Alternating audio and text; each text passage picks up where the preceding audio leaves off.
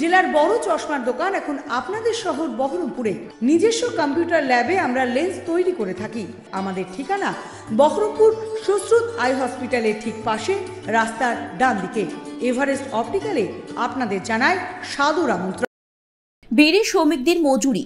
বৃদ্ধি সহ নানাবিধ ইস্যুতে এবার যৌথভাবে পথে নামল বিড়ি শিল্পে যুক্ত সাতটি ট্রেড ইউনিয়ন। বুধবার বিকেলে মুর্শিদাবাদের শামসেরগঞ্জের ডাকবাংলায় যৌথভাবে সমাবেশে আয়োজন করা হয়। যৌথ সংগ্রাম কমিটির পক্ষ থেকে সমাবেশে বিভিন্ন প্রান্ত থেকে কয়েক শতাধিক মহিলা বিড়ি শ্রমিকের পাশাপাশি অসংখ্য সাধারণ মানুষ উপস্থিত ছিলেন। সমাবেশে বক্তব্য পেশ করেন বিডি ফেডারেশন তথা সিটুর সাধারণ সম্পাদক বিমল সান্যাল।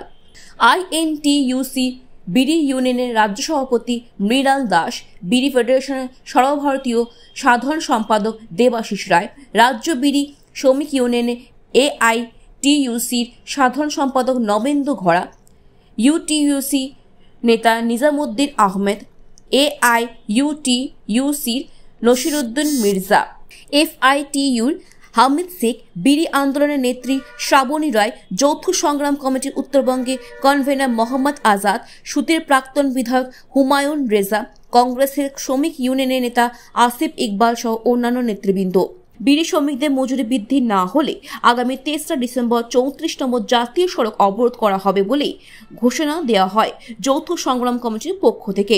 এদিন সমাবেশে পাশাপাশি ভিডিওর মাধ্যমে জেলা শাসককে একটি স্মারকলিপিও প্রদান করা হয়। তেরো দফা, কিন্তু মূল দাবি হচ্ছে বিড়ি শ্রমিকদের ন্যূনতম মজুরি, যা সরকার ঘোষণা করেছে দুশো সাতষট্টি টাকা চুয়াল্লিশ পয়সা হাজার প্রতি। এটা কার্যকরী করতে হবে। কারণ আপনারা জানেন যে মজুরি চুক্তি হয়েছিল দু বছর চোদ্দ দিন আগে। অথচ তারপরে আর কোনো আলোচনা সভা হয়নি এবং বিড়ি মালিক এবং সরকার কেউ এর ব্যাপারে পদক্ষেপ গ্রহণ করেনি। দ্বিতীয় বিষয় হচ্ছে পিএফ। পিএফ নিয়ে আমাদের লড়াই। পিএফ হচ্ছে বিড়ি শ্রমিকদের একটা অধিকার।